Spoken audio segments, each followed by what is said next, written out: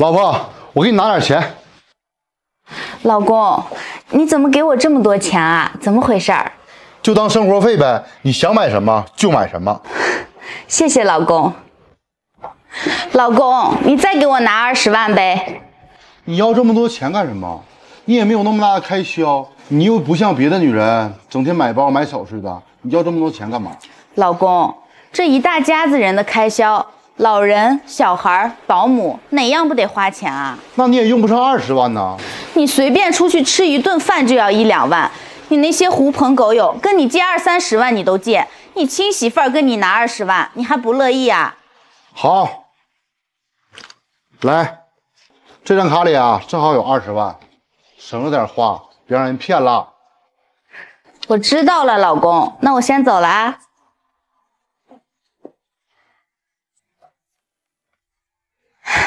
老公，我想跟你商量个事儿，我想买套房子。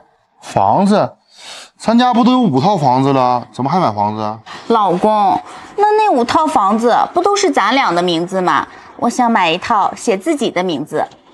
那咱俩是两口子，那你买套房子写自己的名字，算怎么回事啊？你现在都那么风光了，有那么多小女孩往你身上扑，我不得给自己留个保障啊？我说，你有那个必要吗？我是那种人吗？老公，你又不是没钱，那么多钱在银行放着也是放着，反正我就是想买。买买买，正好啊，我这有一张卡，你拿着。不过我有个条件，以后啊对我爸妈要好一点。你放心吧，老公，那也是我爸妈，我还能差事儿不成啊？老板，老板，不好了，公司账上缺了五百万，如果再不把这个钱补上，公司可就完蛋了呀！行，我知道了，你先下去吧。好的，老板。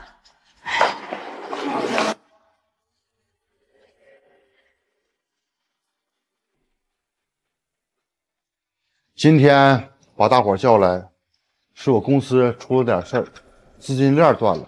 你看，平时我带你们也不包，你们能不能帮我想想办法？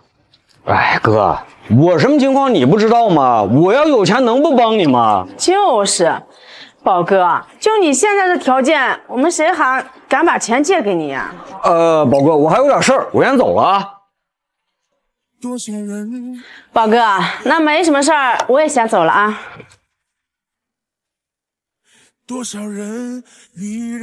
宝哥，你也别看我，我这样也不当家，我那钱也没有多少钱，都让我老公管着呢。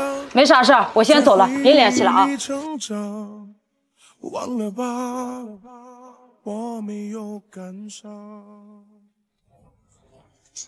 哎，老公，你这愁眉苦脸的是怎么回事啊？哎，老婆，你怎么过来了？没事儿，就是最近工作有点累。老公，那你再给我拿五十万呗。你又要钱？你有完没完了？你是想给也没有了吧？公司出了这么大的事儿，你为什么不告诉我呢？来，我这张卡里有一百二十万。是这些年你给我的零花钱，我一分都没有动。还有这张卡里有三百万，我把我的那套房子也卖了。你怎么把你的房子卖了？老公，什么你的我的，那是我们的。这些年你春风得意的时候，你那些个狐朋狗友一个个的都围上来了。你性格豪爽，我说你你又不听，我可不得趁你有钱的时候替你攒着点，以备不时之需嘛。来。老公，这些钱你都拿着，如果不够的话，我再去娘家借点。老婆，你就不怕我再赔了吗？老公，有钱常想无钱日，莫待无钱想有钱。朋友只是一时的欢乐，只有夫妻才能同甘苦，共患难。只要我们两个人同心协力，我相信我们这个家就倒不了。老婆，谢谢你。有你真好。希望五十年以后，你还能在我左右，和你坐在摇椅里，感受那夕阳的温柔。老二，老二在家吗？哎，妈，您怎么来了？快屋里坐。我就不进去了。老二媳妇儿，老二在家吗？啊，妈，他出去了，不在了。妈，您找他是有什么事儿吗？跟我说是一样的。咱们老家的征地款下来了，钱都在这个卡里，给你拿着。妈，我们有钱花，这个钱呀，还是您拿着吧。哎呀，给你就拿着，我岁数大了，用不着钱。妈，您就留下吧。您岁数大了，这手里有点钱，心里也踏实。儿媳妇儿，你两个孩子呢，负担重，这钱呀，就当着我给我的大孙子花了。那行，妈，那这个钱我就先收下了，千万别跟你大哥说。那我就走了啊。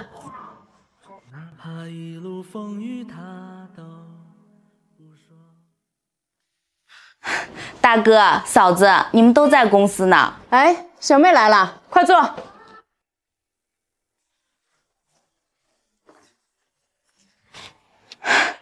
哥、嫂子，跟你们说件事儿，咱们老家的征地款下来了，咱妈呀一大早就把钱送到我们家了。我查了一下，这张卡里一共是两万，我取了一万，还剩下一万，咱们两家一人一半。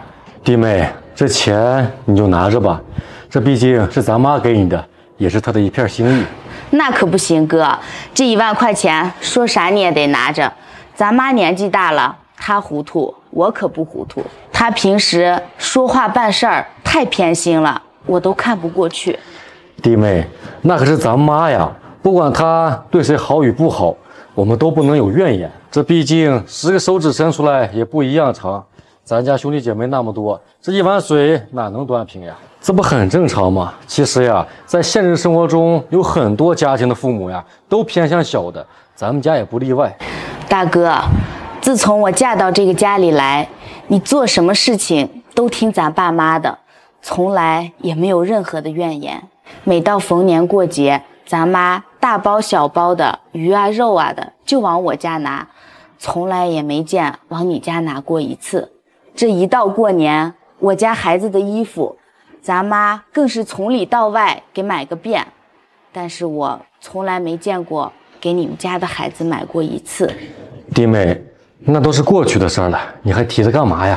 大哥，其实这件事儿啊，我们心里都记着呢。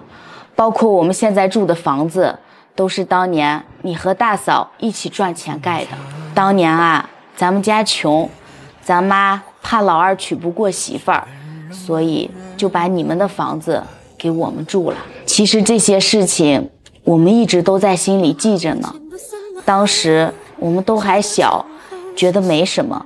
可是现在回想起来，咱妈当时那么对你们，我这心里啊还是挺不舒服的。弟妹，他是大哥，他做这些呀都是应该的。钱是身外之物，只要我们一家人和和睦睦、开开心心的，比什么都重要。小妹，这些钱你就拿着吧。这俗话说呀，家和才能万事兴。等大哥多少用的时候再去找你。